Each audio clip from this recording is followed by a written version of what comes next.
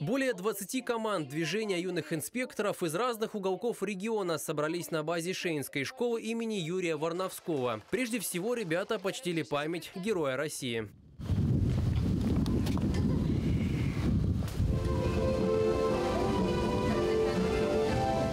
Перед стартом все хорошо разогрелись. Зарядку провел многократный чемпион мира по гиревому спорту Иван Беляев. Впереди участников ждали более 10 соревновательных и обучающих точек. Пальчиком придави курочек и держи его. Палец не отпускайте.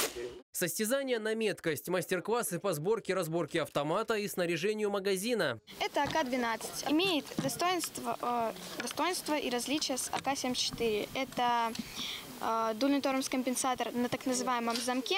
А на этапе фигурное вождение оценивали координацию движений и мастерство владения велосипедом. Задача – сбить как можно меньше конусов на маршруте. На старт, внимание, марш!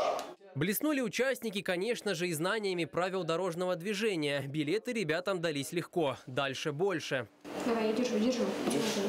По легенде, у пострадавшего открытый перелом ноги. На остановку кровотечения наложение шины максимум 5 минут. Одна из команд справилась всего за полторы. И это далеко не все этапы. В нашей области каждое соревнование ЮИД по-своему уникально. В этот раз событие объединило почти 100 участников. В условиях э, начала э, нового учебного года э, и, скажем так, выхода детей из каникулярного сезона, очень важно, что данное мероприятие проходит именно сейчас.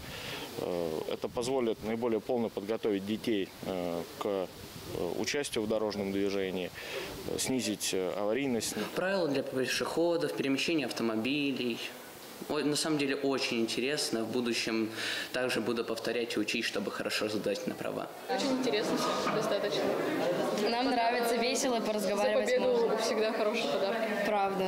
Поддерживает соревнования фонд поколения Андрея Скотча. Профилактика детского дорожно-транспортного травматизма остается одним из приоритетных направлений. Дети здесь получают определенные знания, навыки. Цена этих знаний – это здоровье и жизнь ребенка. Несмотря на то, что это все-таки специализированное соревнование, но вот военная патриотика сегодня тоже проходит определенной красной нитью. Крайне важно именно формировать в этом возрасте. Кирилл Мусаев, Валерий Варьков. Такой день на мире Белогорья.